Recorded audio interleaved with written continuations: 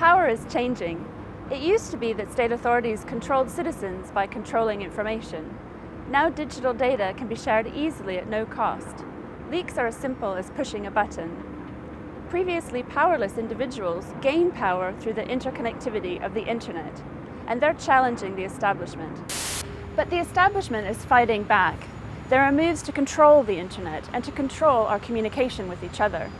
This is the information war.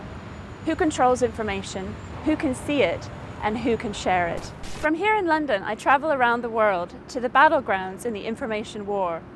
I travel to hackerspaces from Berlin to Boston to find out why hackers are becoming so politically active. I go to America to visit Google and Facebook and find out what they know about us. I visit Iceland to find out why that country has become such a center for digital freedoms. And I enter the murky world of WikiLeaks, from its inception to its disintegration, looking at the collateral murder video and my own experience with the US diplomatic cables.